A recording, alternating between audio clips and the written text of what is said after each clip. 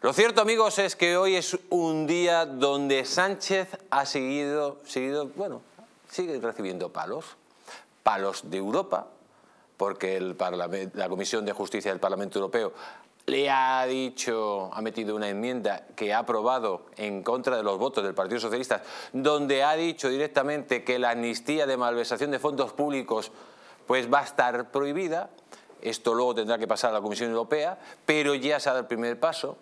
También, amigos, hoy es un día grande para todos porque Europa ha anunciado que ya están investigando la amnistía y sobre todo lo bueno para todos los españoles es que ayer Sánchez fue directamente vapuleado, humillado y arrastrado por el señor Puigdemont. Las cosas cada día se le ponen más difícil a Sánchez y aunque esta amnistía salga, ojo que esta amnistía saldrá directamente muerta.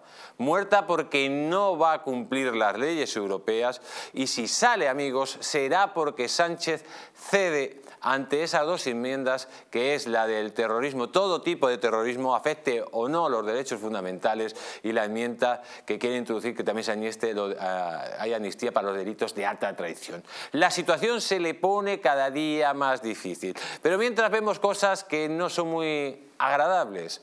En medio de un golpe de Estado vemos como el Partido Popular propuso directamente a Europa que hiciera de mediador para, bueno, pues, para negociar el Consejo General del Poder Judicial.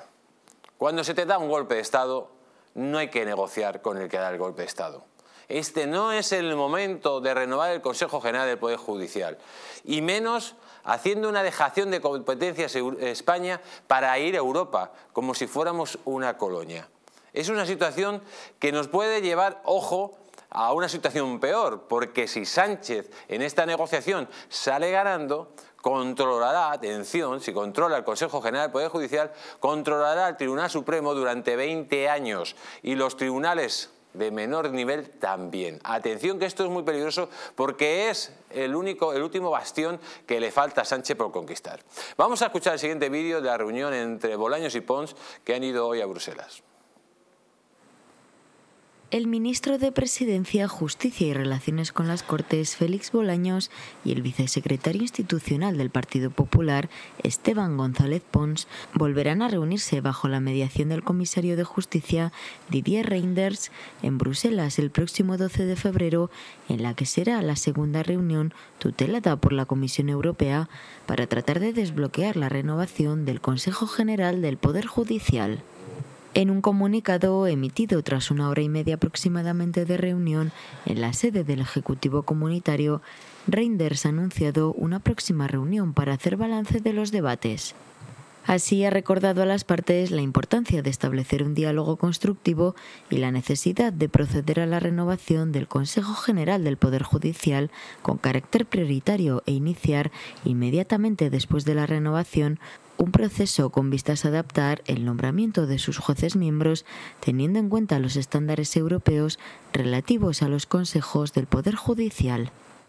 Pues amigos, solo habría que negociar una cosa. El Partido Popular no tiene que negociar los puestos en el Consejo General del Poder Judicial.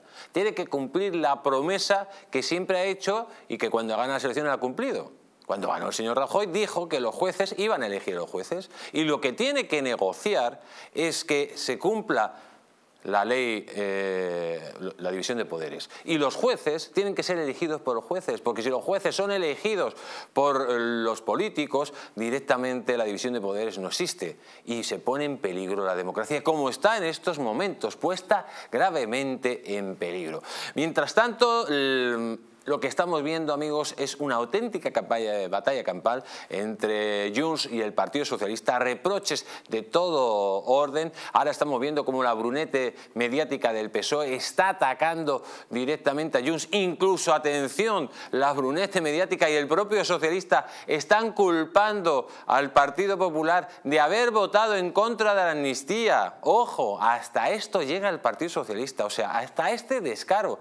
Echarle en cara al Partido Popular Dinamarca ha votado en contra de la, de la amnistía junto a Junts. Esto es increíble.